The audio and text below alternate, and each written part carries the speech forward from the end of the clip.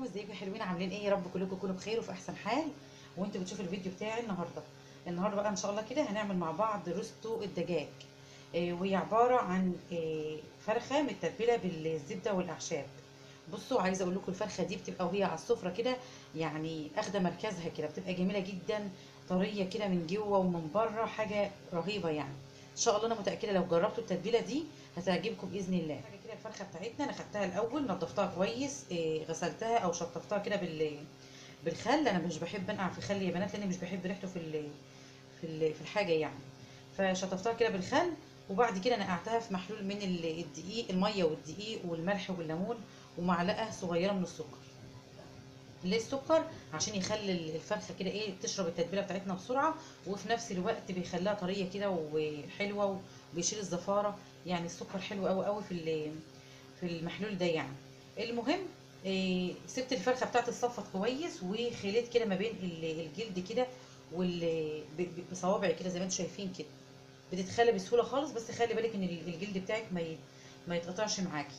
خلاص؟ يعني انت بس بصوابعك كده بتكون يعني شلت كده الجلد من اللحم. خلاص هعمل إيه بقى؟ أنا دلوقتي هاخد أجيب مناديل. طبعا أنا جففتها أصلا بالمناديل.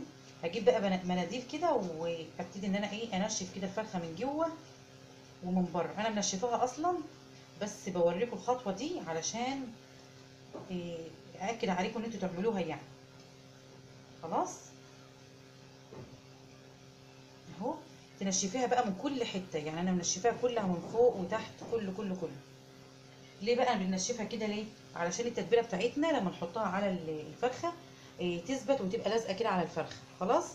معايا هنا زي ما قلت لكم نص كوباية زبدة أنا سيحتها. بتاعتي يا بنات عبارة عن معلقة كبيرة من الزعتر. بقية البهارات كلها إيه معلقة صغيرة بس. يبقى معلقة كبيرة من الزعتر معلقة إيه من الفلفل الأسمر روزميري توم بودرة معايا ده ورق لورا مطحون. لو انت عندك اللي هو السليم إيه بتحطيه كده إيه ما بين الفرخة كده وبعضها بس. يعني يستحسن إن هو يكون مطحون. عايزة أقول لكم بيبقى أحلى وأحسن من السليم خالص. ومعايا إيه ريحان ومعلقة صغيرة برده من الملح. دي كده كل التتبيلة بتاعتي. عايزة أقول لكم تتبيلة سهلة قوي قوي قوي مفيش أسهل من كده تتبيله هنضيف كده كل البهارات بتاعتنا. هنزل بالزبدة. هقلب بقى كل الكلام ده كده كويس لحد ما أحس إن الملح بتاعي داب معايا وأتبل بقى بيه الفرخة على طول. تتبيلة سهلة وسريعة وتقدري تعمليها في العزومات طبعا في رمضان في سهلة جدا. يعني تتبلي الفرخة وتحطها في الفرن على طول.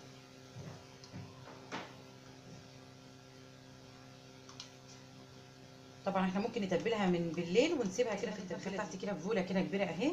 واتأكدت طبعا إن هي ناشفة كويس. هجيب بقى سكينة وأعمل فتحات كده بسيطة جوه الصدر. شايفين؟ عشان التتبيلة الجميلة دي تدخل جوه الفرخ بقى يا بنات كده التتبيلة بتاعتي دي كده. وما بين بقى الجلد كده واللحم. وأدخل. طبعا إحنا عشان في البرد الزبدة بتمسك شوية. ماشي؟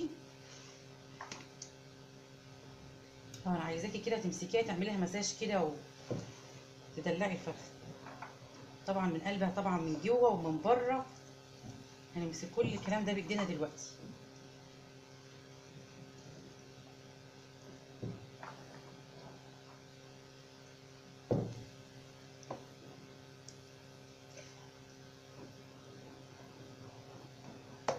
هنلم كل التتبيلة مش هنسيب فيها أي حاجة.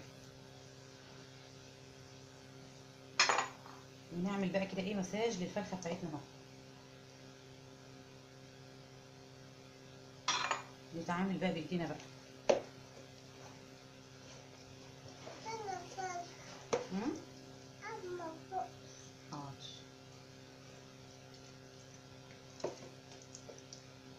أهو كده يبقى تحاولي بقى تدخلي بين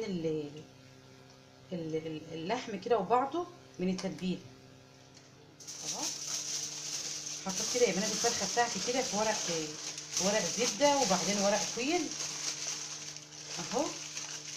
لازم بقى تقفليها كويس يعني بالطول وبالعرض كده. أهو على قد ما أنت قادرة بقى تقفلي عليها كويس جدا. طبعا أنت ممكن تشويها في الكيس الحراري ممكن تشويها صينية كده في الفرن وتغطيها بورق ألومنيوم كده زي ما أنا عاملة كده. ممكن تعمليها زي ما أنا عاملة كده الفرخة تلفيها نفسها بورق زبدة و كده زي ما أنتم شايفين تلفيها تقفلها خالص كده زي ما أنا عاملة كده. ممكن تعمليها في الشبكة زي ما أنا كنت عاملة معاكم قبل كده في كذا طريقة. يعني ممكن إيه ممكن تعمليها في السيخ بتاع البوتاجاز. إيه لها طرق كتير قوي قوي غير اللي أنا عاملاها دي. شوفي انت بقى الطريقة اللي تريحك إيه أو اللي, انت تحبيها يعني واعمليها بيه. طبعا لفيتها كده إيه بالطول وبال- وبالعرض عشان تبقى مقفولة كويس. وهسيبها كده زي ما أنتم شايفين اهو في قلب الصينية. لو أنتوا حابين تحطوها في صينية وتوزعي تحت منها خضار براحتك خالص. إيه بطاطس جزر إيه كوسة أي نوع خضار موجود عندك ممكن تحطيه وتلفيها بورق ال- الزبدة وورق الالومنيوم كويس خالص وتدخليها الفرن بتاعك. أنا هدخلها الفرن بتاعي هنزل الشبكة بتاعتي تحت تحت ال- اللي هي فوق الصاج على طول. وهولع عليها على اعلى درجة حرارة عندي. إيه هسيبها بقى من ساعة لساعة ونص. طبعا حسب حجم الفرخة بتاعتك ممكن تاخد معاكي ساعة ونص ساعتين حسب حجم الفرخة.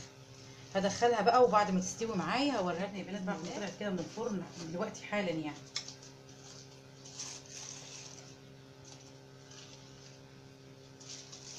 عايزة أقول لكم الريحة جميلة جدا جدا جدا. حلوة قوي. بصوا بقى أنا هشيل الورق الفويل من عليها وهحطها في الصينية. واخد من الصوص أو الزبده اللي نزلت منها شايفين الزبده عامله إزاي؟ أو الصوص اللي نزل منها ده هاخد منه بقى واحط اوزع كده على الفرخ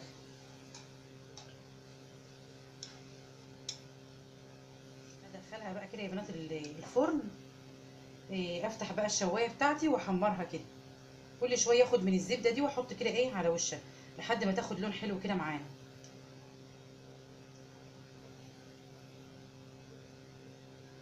خلاص طبعا كل كيلو من الفراخ بياخد 45 دقيقة في الفرن. فانت تخلي بالك بقى حسب وزن الفرخة بتاعتك. يا بنات الفرخة بتاعتنا اهي ما شاء الله شايفين عاملة إزاي؟ الشكل ما شاء الله جميل جدا. ال- الريحة بقى أنا اللي شماها. ريحتها جميلة جدا جدا جدا. تتبيلة جميلة مخلية ال- ال- ال- الزبدة مخلية ال- ال- الجلد بتاع الفرخة مقرمش من بره وجوسي خالص من جوه. تعالوا كده بقى نختبر الت- التسوية بتاعتها.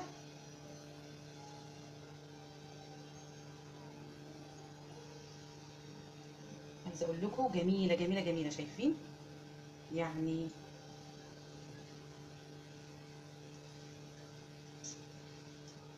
شايفين عاملة إزاي؟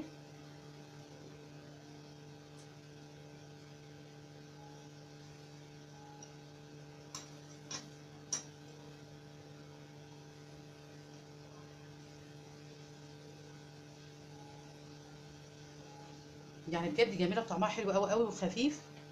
اتمنى كده إن أنتوا تجربوها وإن شاء الله تعجبكم بإذن الله. ما تنسونيش بقى في ال like وال share وال subscribe للقناة. مع السلامة.